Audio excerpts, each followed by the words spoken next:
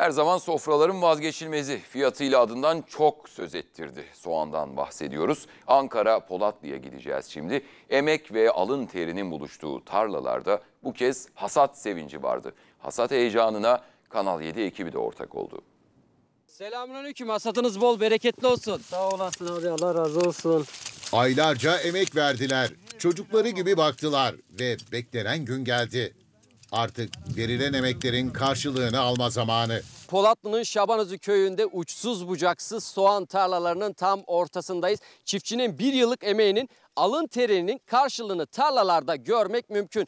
Çok şükür hasatımıza başladık. Allah inşallah bereketli kılar. Ee, ufacık bir tohumu Allah'ın sayesinde ve e, ça- çabalarımızla büyüterek soğan haline, büyük kocaman bir soğan haline getirip sofralara sunuyoruz. Güneşin yüzünü en çok gösterdiği saatler.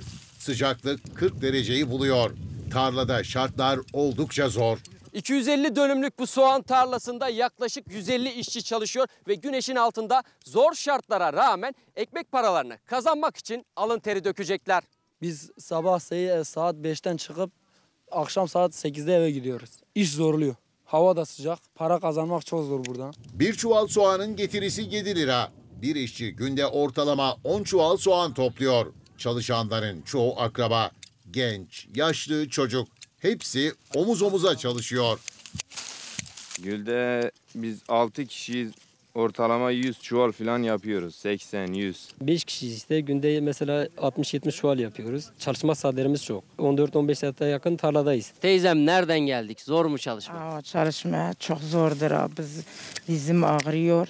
Mecburen buraya geliyorsun. Çocuklara yemek hazırlıyorum. Çay yapıyorum.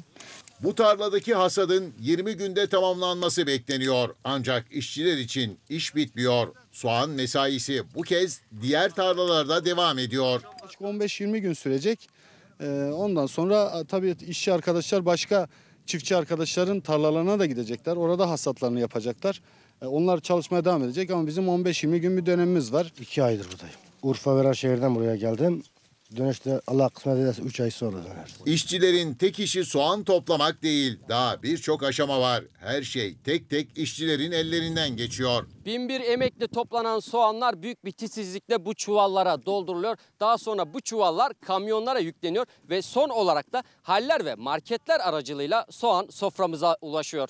Soğan hasadı yüzleri güldürdü. Soğanın tarladaki kilo fiyatı 60 ila 70 kuruş arasında değişiyor. Şu anda 60-70 kuruş orta soğanla iri soğan dediğimiz yani takoz büyük lokantalık soğanla sofralık soğan dediğimiz bir de ufak kavurmalıklar da onlar da yarı fiyatına gidiyor. 35-40 kuruş, ar- 40 kuruş arası gidiyor. Soğan hasadında beklenti oldukça yüksek.